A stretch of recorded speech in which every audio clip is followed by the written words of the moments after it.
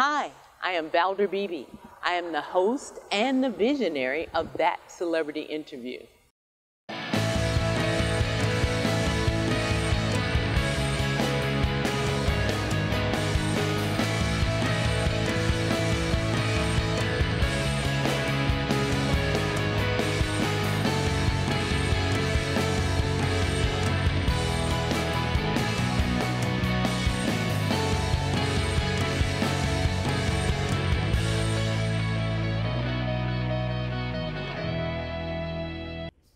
Good morning. I want to thank you guys for joining us here in Dallas, Texas, Dr. Hassan.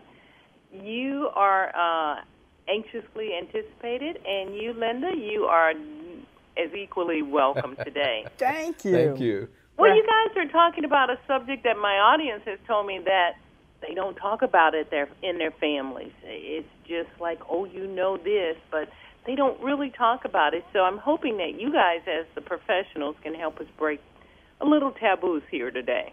Uh, we'd love, to, love do, to that. do that. Hey, can I start with you, Dr. Hassan, and tell me about uh, uh, minding America's mental health? Yeah, so, uh, Linda and I have always known that there's a problem with access to care and quality care. And, and so, you know, across my time in establishing Cohen military family clinics across the country, I've had this on ground experience that really kind of validated our thought that you know, patients are having a hard time getting access to quality care, and many of them don't have the resources to cover the cost of care. And many of the providers that I've spoken with uh, have high caseloads, and frankly, they're burnt out.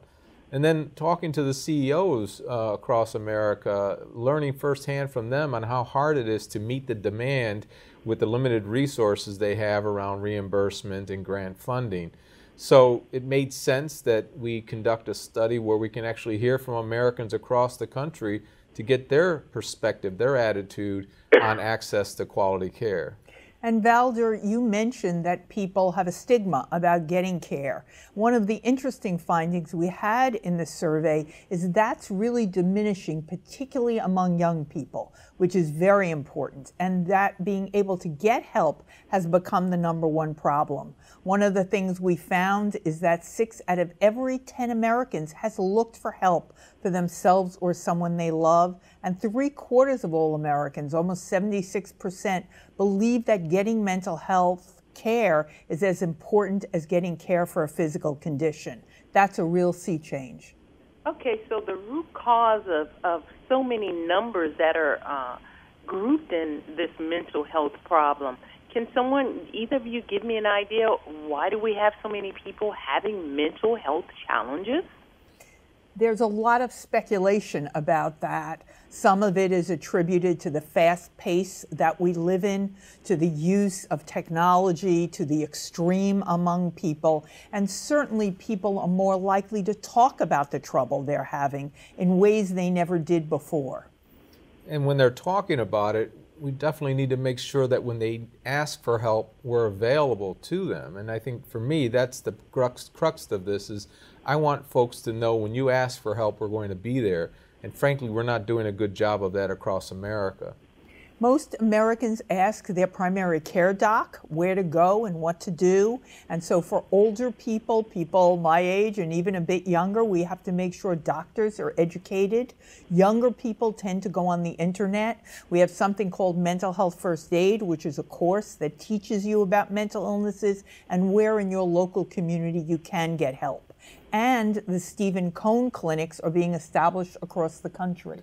And those are the clinics that I'm establishing, and I'd like to really talk about how we can change the system. So, if reimbursement is a challenge, if a high demand and low reimbursement is a challenge, one way to address that is through philanthropy. Mr. Cohen has provided $275 million to the Cohen Veterans Network to ensure that we reduce all barriers to care and that when a veteran or military family member need help, they can get help. That's so they, a model I think we need to move forward in America this is a call to action for philanthropy, but it's also a call to action for government resources. And we're trying to establish certified community behavioral health clinics in every community so people of all incomes can get the help that they need. I like that. I want my audience to know that Dr. Hassan is the Chief Executive Officer and President of Cohen Veterans Network.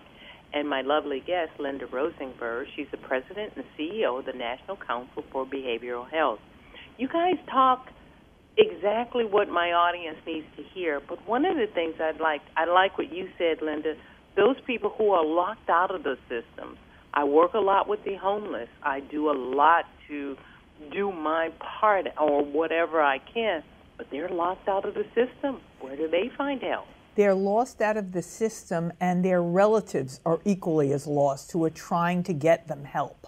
And so, the Certified Community Behavioral Health Clinic that we're advocating in Congress, we want all Americans to be supporting it, would make sure that everyone had a place to go in their community. Right now, they could go to our websites to get more information. But if they want to get help, you know, we need to make sure that the providers are paid equal to medical providers. Mental health providers and medical providers need to be reimbursed in the same way. We need to have access, but if we don't have providers ready and willing to support them, we're going to struggle to meet this demand. And certainly, if you want to learn more about the study, you can go to the cohenveteransnetwork.org. Or the nationalcouncil.org. Those are two resources that my audience can use if the, you could speak to these people personally, because out there helping the homeless, I see a lot of veterans on the street, and that's so disturbing. It is. But if there's anything that we could say to their family members, uh, Dr. Hassan, you first, and then Linda, could you guys give us a word of inspiration? When you raise your hand to get help, we need to be there for you. But I can tell you, once you're in the door, the treatment that you will get will help you. And you're not alone. Uh, mental illness touches all of us and our families, and we're dedicating ourselves to make sure you get the help you need and want. I love people with a purpose and a passion, and it seems both of you are are doing that. So thank you for gracing the Valder Beebe Show and talking to my audience. You'll never know the lives you've changed, but I know you have changed them. Thank you Thank so you so much. much. Thank you.